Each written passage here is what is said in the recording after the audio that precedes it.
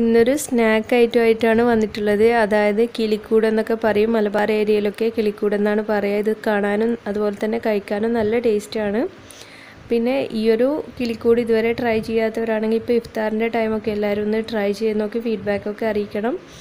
അപ്പോൾ ഈ ഒരു വീഡിയോയിലേക്ക് പോകുന്നതിന് മുമ്പായിട്ട് നിങ്ങളുടെ ആരെങ്കിലും ഈ ഒരു ചാനൽ ആദ്യമായിട്ട് കാണുകയാണെങ്കിൽ വീഡിയോക്ക് താഴെ കാണുന്ന ചുവന്ന സബ്സ്ക്രൈബ് ബട്ടൺ ക്ലിക്ക് ചെയ്തൊന്ന് സപ്പോർട്ട് ചെയ്യണം. അപ്പോൾ ഞാനിവിടെ ഒരു പാൻ വെച്ച് ചൂടാക്കിയിട്ടുണ്ട്. അതിലേക്ക് രണ്ട് ടേബിൾ സ്പൂണോളം ഓയിൽ ഒഴിച്ചു കൊടുത്തിട്ടുണ്ട്. ഇനി ഇതിലേക്ക് ഒരു സവാള വലിയ സൈസ് സവാളയാണ് ചെറുതായി ചോപ്പ് ചെയ്തത്. ചേർത്ത് നന്നായിട്ടൊന്ന് വഴറ്റിയെടുക്കണം അപ്പോൾ സവാള എപ്പോഴും പറയുന്ന പോലെ പെട്ടെന്ന് വഴണ്ട് വരാനായിട്ട് ഞാനിവിടെ കുറച്ച് ഉപ്പ് ചേർത്ത് കൊടുക്കുന്നുണ്ട്.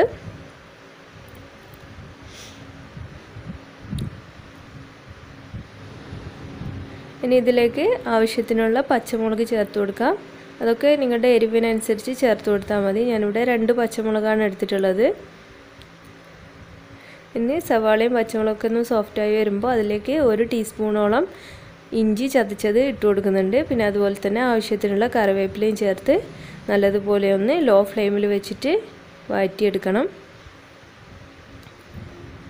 ഇപ്പോൾ നന്നായിട്ട് വഴണ്ട് വന്നിട്ടുണ്ട്. ഇനി ഇതിലേക്ക് ഒരു അല്പം മഞ്ഞൾപ്പൊടി ഒരു കാൽ ടീസ്പൂണോളം മതിയാവും. പിന്നെ അതുപോലെ അര ടീസ്പൂണോളം മുളക് പൊടിയും ചേർത്ത് കൊടുക്കുന്നുണ്ട്.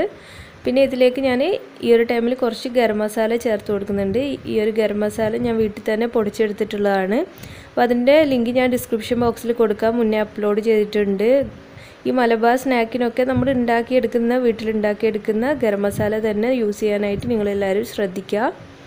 അപ്പോൾ ഇതെല്ലാം കൂടി ലോ ഫ്ലെയിമിൽ പച്ചമണമൊക്കെ പോകുന്നത് വരെ ഒന്ന് വഴറ്റിയതിന് ശേഷം ഇത് ഞാൻ ഒരു മൂന്ന് നാല് വലിയ പീസ് ബോൺലെസ് ചിക്കന് കുറച്ച് മഞ്ഞൾപ്പൊടിയും ഉപ്പും അതുപോലെ മുളക് പൊടി ഇട്ട് വേവിച്ച് മിക്സിയുടെ ചെറിയ ജാറിൽ ഒന്ന് ക്രഷ് ചെയ്തെടുത്തതാണ്. അതും കൂടി ഇതിലേക്ക് ഇട്ടിട്ട് നന്നായിട്ടൊന്ന് മിക്സ് ചെയ്തെടുക്കണം.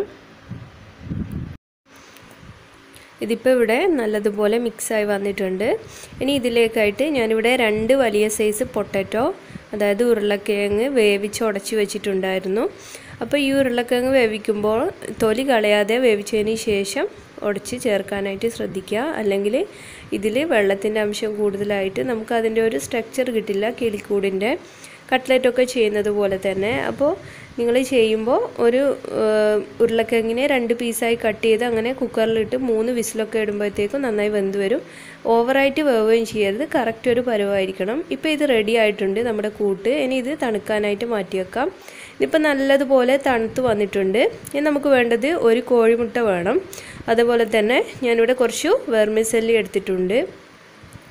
ഇതിപ്പോൾ സേമിയ ഞാൻ കൈകൊണ്ട് ജസ്റ്റ് ഒന്ന് പൊടിച്ചെടുത്തിട്ടുണ്ട്. കൈ കൈ വെച്ച് പൊടിച്ചാൽ മതി. ഇനി ഈ ഒരു കൂട്ട് നമുക്ക് ഈ ഒരു വലിപ്പത്തിൽ കണ്ടില്ലേ? ഒരു വലിയ ചെറുനാരങ്ങ വലിപ്പത്തിനേക്കാൾ കുറച്ച് കൂടി എടുത്തിട്ടുണ്ട്. ഇനി നമ്മൾ കൈയിന്റെ അടിയിൽ വെച്ച് വീഡിയോയിൽ കാണുന്നത് പോലെ പ്രസ് ചെയ്തതിന് ശേഷം ഒരു എന്താ പറയുക ഒരു കൊട്ടയുടെ ഷേപ്പിൽ നമുക്കിത് ആക്കിയെടുക്കണം. കിളിക്കൂടൊക്കെ ഉണ്ടാവില്ല? അപ്പോൾ ആ ഒരു ഷേപ്പിലാക്കിയെടുക്കാം പിന്നെ നമ്മൾ ഇത് ചെയ്യുന്ന ടൈമിൽ നന്നായിട്ട് തന്നെ ഇത് പ്രസ് ചെയ്തിട്ട് ചെയ്യാനായിട്ട് ശ്രദ്ധിക്കുക. അല്ലെങ്കിൽ നമ്മൾ ഫ്രൈ ചെയ്യുന്ന ടൈമിൽ പൊട്ടാനുള്ള ചാൻസ് ഉണ്ട്. അതുപോലെ തന്നെ ഉരുളക്കിഴങ്ങ് നമ്മൾ വേവിക്കുന്ന ടൈമിൽ നല്ലോണം ശ്രദ്ധിച്ചാൽ മതി. അപ്പോൾ എല്ലാവർക്കും ഇത് ചെയ്തെടുക്കാനാവും. അപ്പോൾ ഇത് കണ്ടില്ലേ? ഇതിപ്പോൾ നല്ല പെർഫെക്റ്റ് ആയിട്ടുള്ള ഒരു ഷേപ്പിൽ കിട്ടിയിട്ടുണ്ട്. ഇനി ഇതുപോലെ ബാക്കിയുള്ളത്. ഇപ്പോൾ ഈ ഒരു അളവിൽ ഞാൻ ഒമ്പത് കിളിക്കൂടാണ് ചെയ്യാനായിട്ട് പറ്റിയിട്ടുള്ളത്. ഇനി ഇതിനെ നമുക്ക് മുട്ടയുടെ വെള്ളയിലൊന്ന് ഡിപ്പ് ചെയ്യണം. അതിനായിട്ട് ആദ്യം കുറച്ച് ഉപ്പ് ചേർത്ത് മുട്ട നന്നായിട്ടൊന്ന് ബീറ്റ് ചെയ്ത് കൊടുക്കാം. വേണമെന്നുണ്ടെങ്കിൽ കുറച്ച് കുരുമുളക് പൊടി കൂടി ഈ ഒരു ടൈമിൽ ചേർത്ത് കൊടുത്താൽ നല്ലതായിരിക്കും. അപ്പോൾ ചിലർ ഈ ഒരു മുട്ടയുടെ മുട്ട പുഴുങ്ങിയതും ഇതിന്റെ അകത്ത് വെച്ചിട്ടൊക്കെ ചെയ്യാറുണ്ട്. അതുപോലെ ചിലർ കട്ട്ലറ്റിന്റെ ഷേപ്പിലൊക്കെ ചെയ്യാറുണ്ട്. അതൊക്കെ നിങ്ങൾക്ക് ഇഷ്ടമുള്ളതുപോലെ ചെയ്യാം. ഞാനിപ്പോൾ ഈ ഒരു കിളിക്കൂടിന്റെ ഷേപ്പിൽ തന്നെയാണ് ചെയ്തെടുക്കുന്നത്.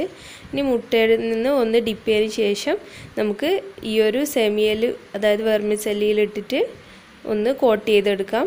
അപ്പോൾ കറക്റ്റ് ഒരു കിളിക്കൂടിന്റെ രൂപത്തിലായിരിക്കും നമുക്ക് കിട്ടുക.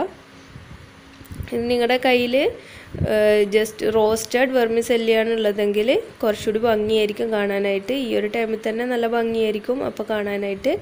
ഞാനിത് റോസ്റ്റ് ചെയ്യാതെ ഉള്ള വെർമിസെല്ലിയാണ് എടുത്തിട്ടുള്ളത്. അതുകൊണ്ട് നല്ല വൈറ്റ് കളറാണ് അപ്പോൾ ഫ്രൈ ചെയ്യുന്ന ടൈമിൽ നല്ല ബ്രൗൺ കളർ ആവാൻ വേണ്ടി നമ്മൾ വെയിറ്റ് ചെയ്യേണ്ട ആവശ്യം വരും. ഇതുപോലെ എല്ലാ കിളിക്കൂടും നമുക്ക് ചെയ്തെടുക്കാം. ആദ്യം മുട്ടയിൽ ഡിപ്പ് ചെയ്തതിന് ശേഷം വെർമിസെല്ലിയിൽ കോട്ട് ചെയ്തെടുക്കാം. അപ്പോൾ ഇത് നമുക്ക് ഫ്രീസറിൽ അടച്ച് വെച്ച് നല്ല എയർ ടൈറ്റ് ആയിട്ടുള്ള കണ്ടെയ്നറിൽ സൂക്ഷിച്ചാൽ രണ്ട് മൂന്ന് ദിവസമൊക്കെ കേടുകൂടാതെ ഇങ്ങനെ ചെയ്ത് വെച്ചാൽ മതി. ഇഫ്താറിന്റെ ടൈമിലൊക്കെ നമുക്ക് എല്ലാ ദിവസവും സ്നാക്സ് ഉണ്ടാക്കാനൊക്കെ മടിയായിരിക്കും. അപ്പോൾ ഇത് നമുക്ക് ഫ്രീസറിൽ എയർ ടൈറ്റ് ആയിട്ടുള്ള കണ്ടെയ്നർ സൂക്ഷിക്കുകയാണെങ്കിൽ ജസ്റ്റ് വേണ്ട സമയത്ത് രണ്ടോ മൂന്നോ എടുത്ത് ഫ്രൈ ചെയ്തെടുത്താൽ മതിയാവും. അപ്പോൾ നമ്മൾ ഇത് ഈ വെർമിസല്ലി ചെയ്യുന്ന ടൈമിൽ അധികം നമ്മൾ പ്രസ് ചെയ്ത് വിർമിച്ചല്ലി കയറ്റി ചെയ്യേണ്ട ആവശ്യമില്ല. ജസ്റ്റ് ഒന്ന് കോട്ട് ചെയ്തെടുത്താൽ മതി. ഇനിയിപ്പോൾ എണ്ണയിലിട്ടൊന്ന് ഫ്രൈ ചെയ്തെടുക്കുകയാണ്. അപ്പോൾ ഫ്രൈ ചെയ്യുന്ന ടൈമിൽ നമ്മൾ കുറച്ച് കുഴിയുള്ള പാത്രം എടുക്കാനായിട്ട് ശ്രദ്ധിക്കുക. ഇത് ഈ ഒരു കിളിക്കൂട് മുഴുവനായിട്ട് എണ്ണയിലേക്ക് മുങ്ങിക്കിടക്കണം. അതായത് ഡീപ്പ് ഫ്രൈ ആണ് നമ്മൾ ചെയ്തെടുക്കേണ്ടത്. അതുപോലെ തന്നെ എണ്ണ നന്നായി ചൂടായതിന് ശേഷം മാത്രം ഇത് ചെയ്യാനായിട്ട് ശ്രദ്ധിക്കുക. ഇപ്പം ഞാൻ രണ്ട് കിളിക്കൂട് ഒന്നിച്ചാണ് ചെയ്തെടുക്കുന്നത്. രണ്ട് സൈഡും ഒന്ന് ബ്രൗൺ കളർ ആകുമ്പോൾ നല്ലൊരു ഗോൾഡൻ ബ്രൗൺ ആകുമ്പോൾ നമുക്ക് എണ്ണയിൽ നിന്ന് കോരി മാറ്റാം.